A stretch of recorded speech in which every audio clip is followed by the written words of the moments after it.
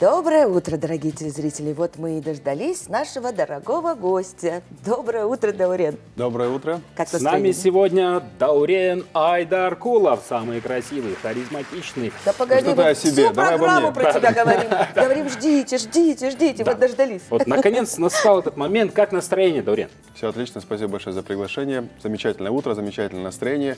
И желаю всем такого же позитивного настроения всем зрителям. Честно скажи, в прямом эфире часто бываешь? Нет, я люблю спать.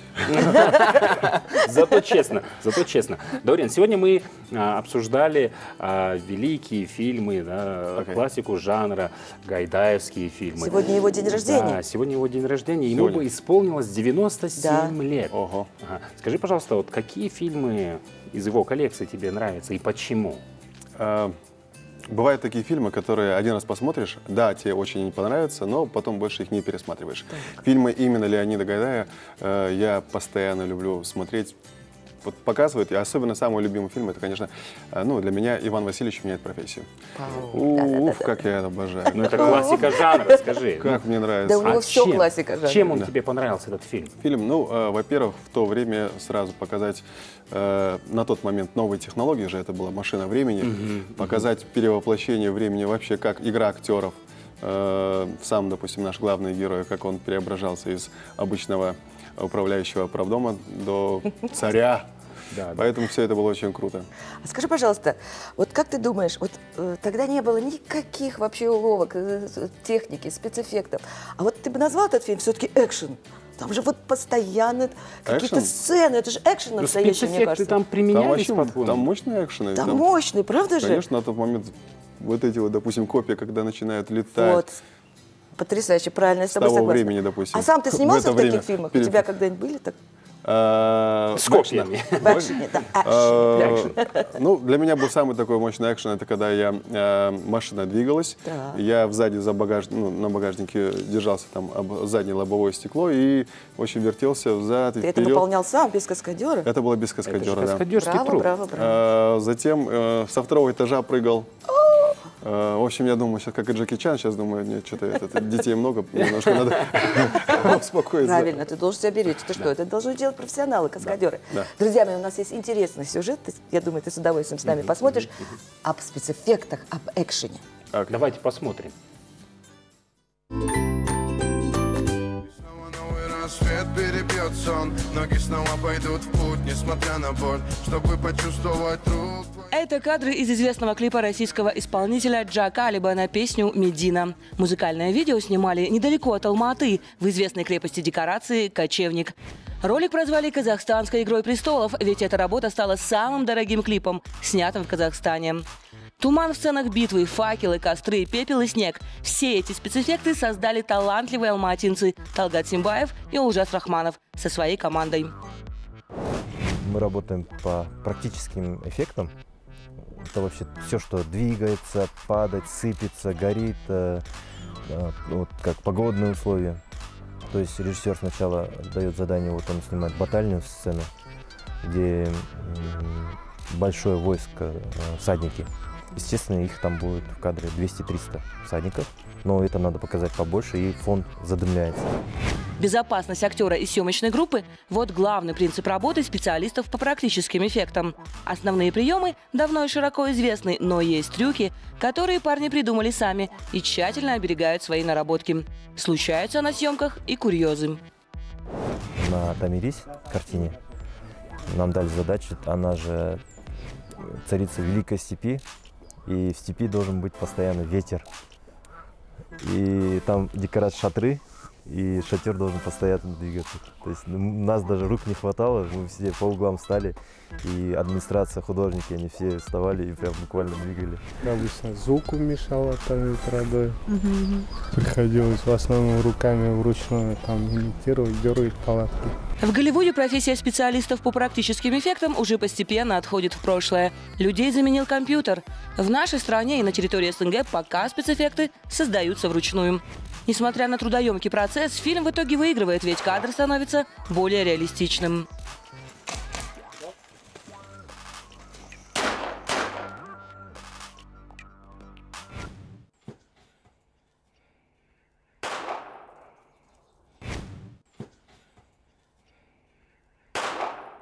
Эффектные кадры со стрельбой – это тоже работа наших героев.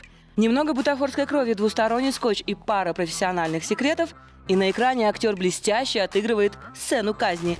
А уже через секунду звучит команда «Стоп! Снято!» И съемочный процесс продолжается, а реквизит отправляется на полку.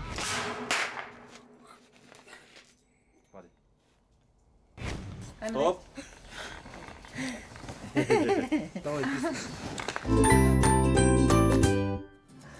Мы прям все засмотрелись, да? Ну, что скажешь, как это сложно, Людям всегда да? было интересно спецэффект, а для нас, э, творческих людей, как это делается. Поэтому мы все, наверное, так внимательно посмотрели все это, этот сюжет. А ты знаешь какие-нибудь секреты, как делаются спецэффекты? Я в этот рынок, ну, точнее, в- немножко не очень глубоко улазил, поэтому, э, но хорошую дали эту идею. Наверное, потому что еще в такой проекта не было, где такие мощные спецэффекты всякие эм, были в моем м, участии в моем фильме. А я вообще будет, считаю, да? что спецэффекты ради спецэффектов вообще не нужно, правда же? Лишь бы, лишь бы, Да? да. ну, Они спецэффекты- должны быть оправданы. только. Да, Они должны быть оправданы, и они в основном используются а, в других жанрах, как Да. боевик, фэнтези, Правильно. экшен. Хорошо подходишь Да, нашему гостю. да. То есть и это действительно очень трудоемкий процесс. Но, допустим, Даурен, ты больше известен как комедийный актер, поэтому, наверное, у вас и мало спецэффектов. И знаешь, и многие считают, что жанр комедии это легче, чем другие жанры. Но на самом деле это не так, правильно? Совсем не так, да. А Это я узнал у профессиональных э, актеров театра и кино, что на самом деле самый вот сложный жанр считается комедия. А, мне было приятно это узнать. Почему? Потому что мы как бы в основном, э, благодаря КВН, этой игре КВН, мы как бы в этой стихии, в этом э, в этой игре, в этом направлении сразу оказались. Начали сразу. Да, и не драматургия там, не как людей заставлять плакать, ну, в смысле, а наоборот смешить, и из-за этого нам показалось, что это Легко, да? кино, э, по крайней мере, да, немножко легче. И потом стало, опять-таки, как я уже сказал, приятно было узнать, что это, оказывается, сложный жанр. Очень сложно, конечно. Самый сложный жанр. А чем отличается... Поэтому вот, так мало на- комедий вообще мировых даже по-настоящему э, смешных, правда? Качественных. Всё верно. Качественных очень мало. А, Даурен, чем отличается вот комедийный жанр, да, то есть процесс работы актера, съемочный процесс от других жанров? Но если он работает только в комедийных, Ну вот, допустим, к примеру, такой случай, да, вот каждый актер должен настроиться на определенную сцену. То есть сцена ждет, и актер сидит и настраивается.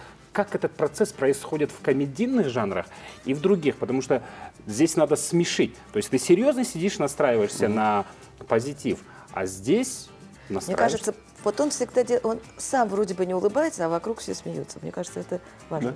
Нет? Он такой, Тихо сейчас я подумаю про свой улыбаться, да. секрет. А, Очень важно выдержать паузу перед, э, ну, как мы в КВН говорим, добивкой шутки. А, Не расколоться самому, да? Да, ну, э, если, допустим, какие-то в драмах, допустим, больше глазами, вот внутренний мир нужно передать через глаза, то в кино больше, наверное, внешнее уже лицо должно... Мимика. Да, мимики, всякие вот такие вот вещи. Я не знаю, прав- правильно или неправильно я на киношном языке все это рассказываю, но э, во мне примерно как-то вот такие ходы используются.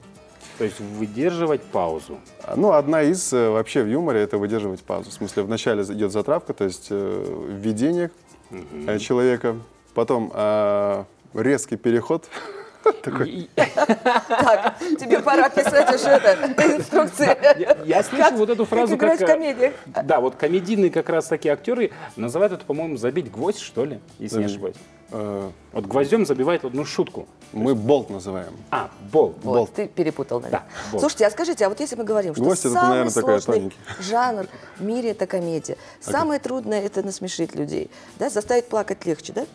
Почему же в Казахстане так много снимается комедий, и в основном это основной жанр комедии? Как ты думаешь, почему? Потому что казахстанцы веселый народ. Вот почему, правда? Первый признак и первая причина. Нет, а еще? А если Ну, честно? потому что Джамбульская область, Чуйская долина рядом. Шучу.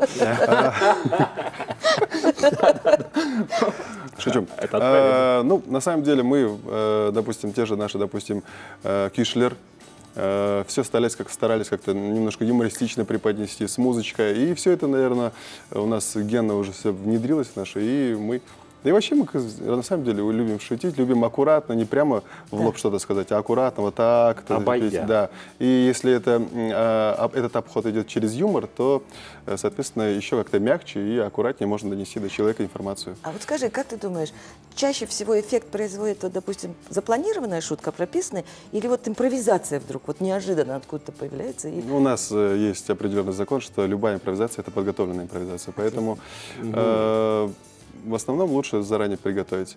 А, ну, есть по-любому какие-то вот, э, люди, которые хорошо импровизируют, и если они тоже выстреливают, а человек сам должен внутри еще определять, э, что вот этот импровиз будет, зайдет на зал, а этот не зайдет.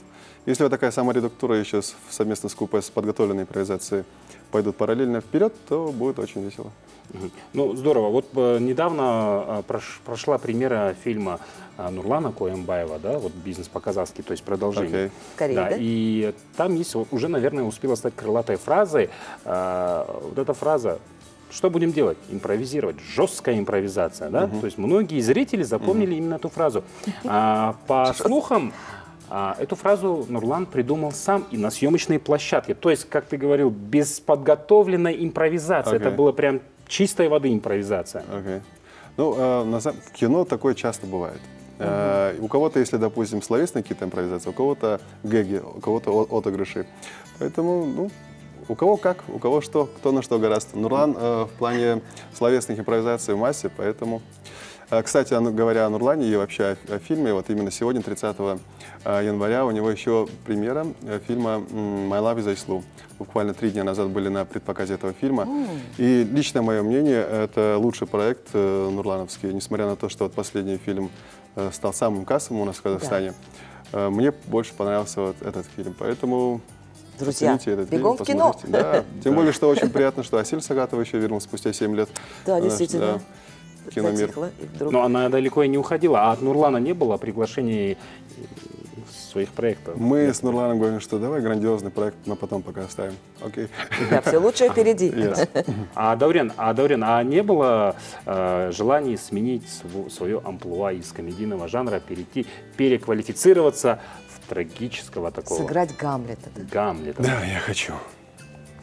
Ладно, или боевик.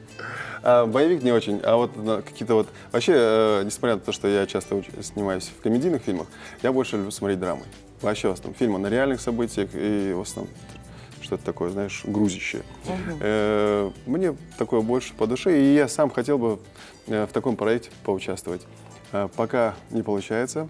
Ну. Более-менее был приближенный «Это жена не стена». И то я, сама, сам фильм был комедия, но я там просто линию такую да. серьезно держал. Серьезно. Вот. Даурен, извини, пожалуйста. Okay. Очень интересно с тобой говорить. И о планах твоих поговорим. Но после небольшой рекламы. Вкусные Мы вновь вместе с вами, дорогие наши телезрители, зрители. У нас в гостях э, очень талантливый комедийный актер Даурен Айдаркулов. Даурен, э, мы хотели узнать о твоих планах.